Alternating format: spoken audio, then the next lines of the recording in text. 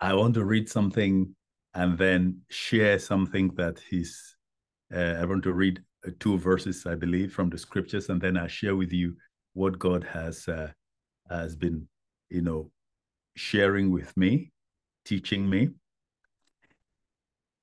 Uh, when we look at the book of Psalm, Psalm 100, this is something we say, come into his presence with thanksgiving. You know, let's let's look at it together, please. Psalm, Psalm, the book of Psalm 100. Book of Psalm 100. Uh, when you look at the book of Psalm 100, you're going to see where we are enjoined, believers are enjoined how to uh, encourage or uh, instructed on how to approach God. He says, shout praises to God. I'm reading from the Common English translation so that everybody can understand. I usually use a different translation, the King James Version, which is kind of old school English for uh, uh, for some people. It's, so I'm reading the Common English translation. It says, Shout praises to the Lord, everyone on the earth. Be joyful and sing as you come to worship the Lord. You know that the Lord is great. He created us. We belong to Him. We are His people, the sheep of His pasture. Be thankful and praise the Lord as you enter His temple. Be thankful and praise the Lord as you enter his temple. The Lord is good. His love and faithfulness will last forever. All right. Uh, praising God and exalt, exalting God is something that believers do. We do that and we're encouraged to do that. Now, let me, um, how do I put it now? I, I want to, I, am not going to, I'm, I'm, I want us to re examine that deeply. What is our motivation for praising God? Sometimes the wrong motive can ruin a beautiful offering. Whenever we offer something to God, we are not giving something to Him. So He, it shouldn't be like we're giving something to Him or offering Him something so that He can do something in return for us. God is not a, what you call that machine, where slot machine, where you slot in two dollars and you get eight. No, he's not like that. Remember, without a heartfelt humility or without the heartfelt um, sincerity and total submission to God, your worship or praise or exhortation or whatever you do will not be acceptable. Remember, God does not need you to be God. He doesn't need your faith to be God. He has been God before you came in the sin. He will remain God forever. He is a, a, a forever God, not a yesterday or you know fly by night kind of God. He's been the living God ever since. He created everything. He created humanity. He initiated you. He brought you into existence. He conceived you in his mind and birthed you by his own will. So when he say come into the scripture say come into his presence with thanksgiving, enter his gates with praise, it's, it's not suggesting to you and when he say come into his presence, many of us limited to when we get to places of our meetings, churches and Bible studies and whatever, or prayer meetings where we gather together with others and then we say we are now in the presence of God. No, the whole earth is his palace. ah, hallelujah. The whole earth is his. And wherever you are, he's there.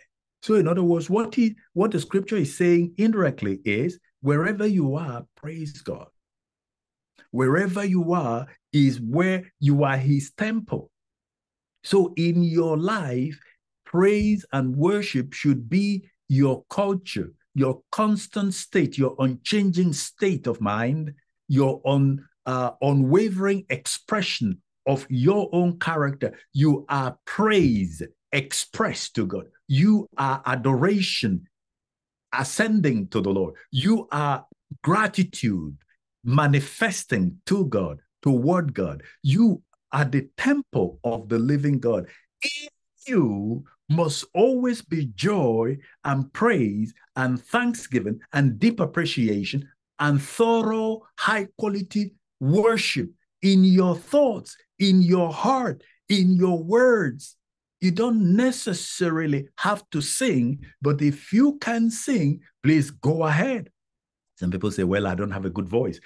God, there is no scripture here that says those who have a good voice should praise the Lord. He said, Enter his courts with praise. Come into, enter his gates with thanksgiving. Come into his courts with praise. Why are you thankful? Someone said, Well, God hasn't done anything, or the, my prayer request has not been answered, so I don't have anything to be thankful for. You, you don't understand uh, uh, the fact that you are alive is a privilege, it's a gift. The fact that you are actually, you could, God could make, make you a tree into a tree.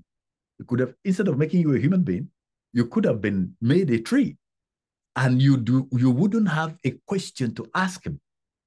It could make you into a stone. The fact that he's your God, what a privilege to have him as our God. Have you ever thought about that? You are focused on that tiny thing that you want him to do that he hasn't done yet. And then you said, I don't have anything to be thankful for. Many of us are full, are so selfish and full of ourselves that we don't, we, we are not even aware of something uh, the great things that God is doing in other people's lives. Even in the world of insects and animals, even in just nature, your ability, your the grace of God that brought you up from bed this morning, the grace of God that has sustained you to the point where you are hearing my voice, yeah, over this platform, it's enough for you to be grateful. The fact that you have a Father in heaven who will spare nothing to reach you to help you, to uphold you, to sustain you. Come on now. We owe him.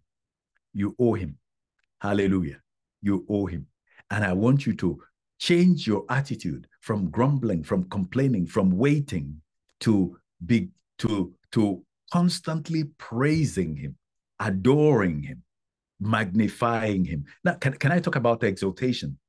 you know, for those of us who, you know, we go to churches where good music is played and the and the worship is good and all that, whether you use a video, someone's song, or you do the song yourself, uh, we, we say, okay, this is a let us exalt the Lord. And then people raise their hands and then they begin to praise the Lord, either in tongues or in their own language, and you know, and and just do it. Exalting God is not only when we come together. And by the way, exalting God is not saying, Lord, I exalt you. Lord, I exalt you. You don't exalt God that way. No, that's not the way to exalt you, to exalt God. Exalting God, let me tell you something. He is high and lifted up already before you were created. He fills the heavens. There is no space anywhere that God does not feel. So, where are you exalting Him? When you say you magnify God, where are you magnifying Him into that He has not already been?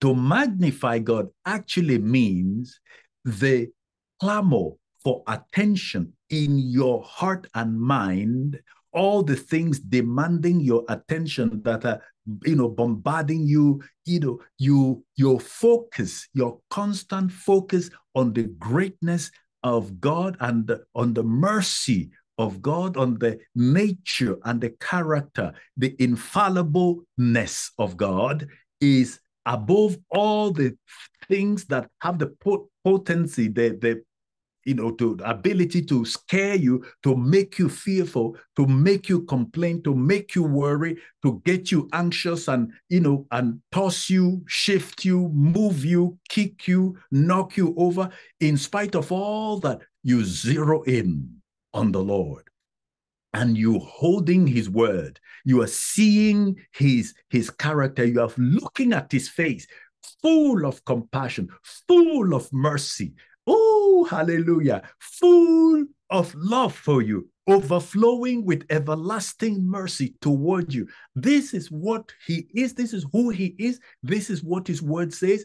That when you focus on that, in spite of all, you are magnifying him. In other words, you have lifted him in your view, in your perception, in your thoughts, in your mind, in your heart, above everything else that you may be going through, above everything else you may be experiencing, above everything else you may have heard, above everything else that you must have seen. The the three boys, uh, uh, what are their names? uh, Meshach, Shadrach, and Abednego, they've magnified the Lord in the face of wildfire, in the face of a, a heavy fire. All right, a furnace that was burning, that was increased seven times. The fire actually consumed those who threw them in. That was how strong it is. Yet they magnified God in the face of the fire. Daniel magnified God in the face of the lions. Uh, Joseph magnified God in in the in the middle, or you know, held in chains. The, Paul and Silas magnified God in the in their midnight. They held on to their uh, understanding of God according to his word, and God showed up. To magnify God means to enlarge God in your heart and mind above every other thought, worry, or over every other thing that has the ability or the potency to overcome you. You, you refuse to let go. There is pain, you refuse to let go. There's fear, you refuse to let go. You're holding on to the word of God. You're face to face with your heavenly father, refusing to budge, refusing to, to, to, to to, to be shaken, refusing to be discouraged, refusing to, to lose your faith, refusing to confess something negative, but to hold on to God. That is what magnifying God is. That is what exalting God. The word exalt is from a root word that says to lift up, to lift up and then push forward. To lift up and bring forward. That is what the root word of the word. In other words, you lifted God up in your mind, in all, in spite of all you're going through and all that is happening, you lift God up above all the demands on you and all the traffic going on in your life and all the mess, you lift God up above them, and then you project God higher than any of those things that the devil is trying to use to drown you.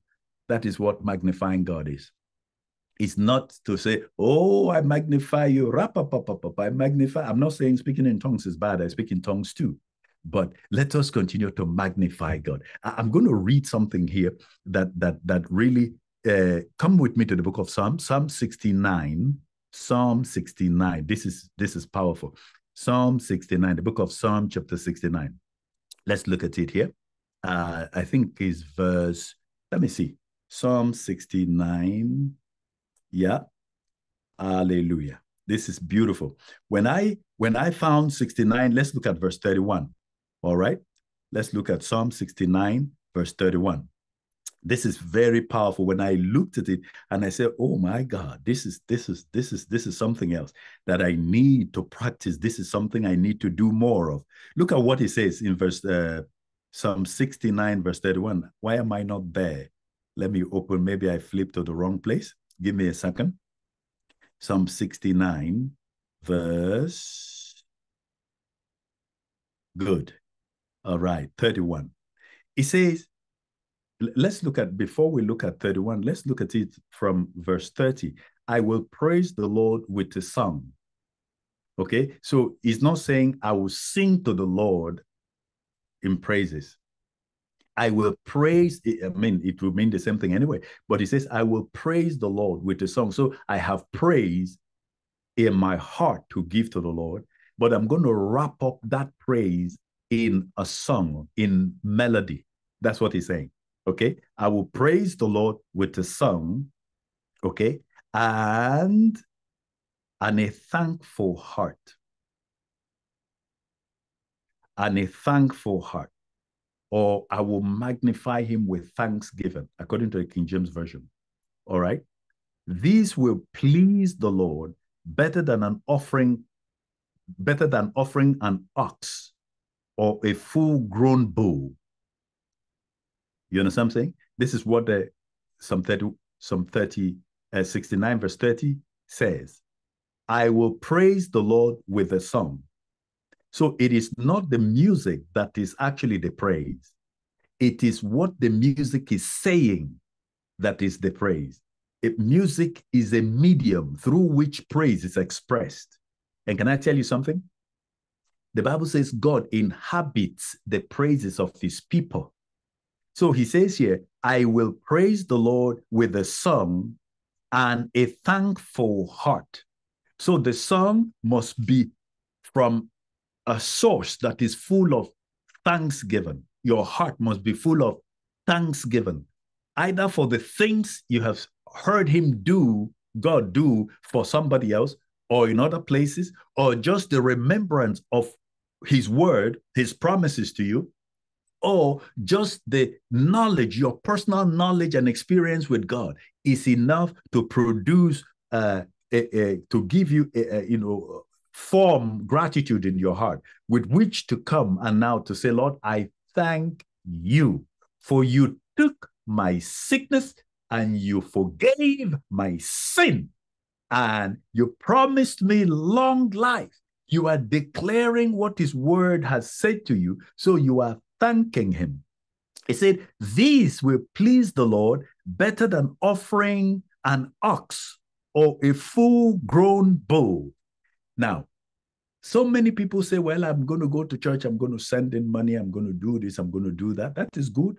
Paying tithe, give offering, pledges, donations, whatever you do to the Lord. Thank you for all that you do. You know, God will reward you. Is the, that, that is what his word promised, and you know he's faithful. But much more than that, there's something else you can do for the Lord that we actually please him more than that. That is what David is saying.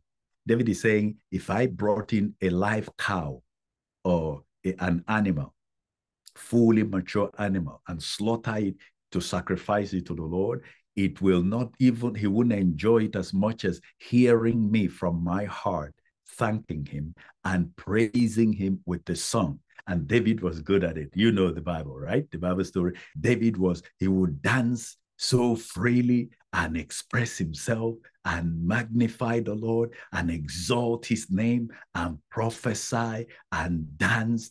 And oh my goodness, David knew how to praise the Lord. Those who know how to praise the Lord, the God gives them access to come closer to him, and God reveals himself more to them. Okay. If you have not started it, I'd like to encourage you to do that. All right. He said, but the praises, the thanksgiving, the gratitude expressed from the heart is more pleasing to the Lord than anything else. So, in other words, he's not saying you should quit supporting financially or whatever you do physically to serve the Lord. He didn't say you should quit, but he says, beyond that, go to the higher level where you are full of gratitude, full of praise, and keep thanking the Lord. Amen. Keep thanking the Lord.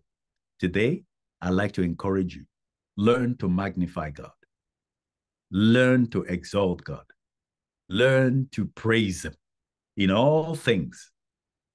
Give the Lord praise in all things. Anxiety may come, shake it off and say, No, I'm going to praise the Lord.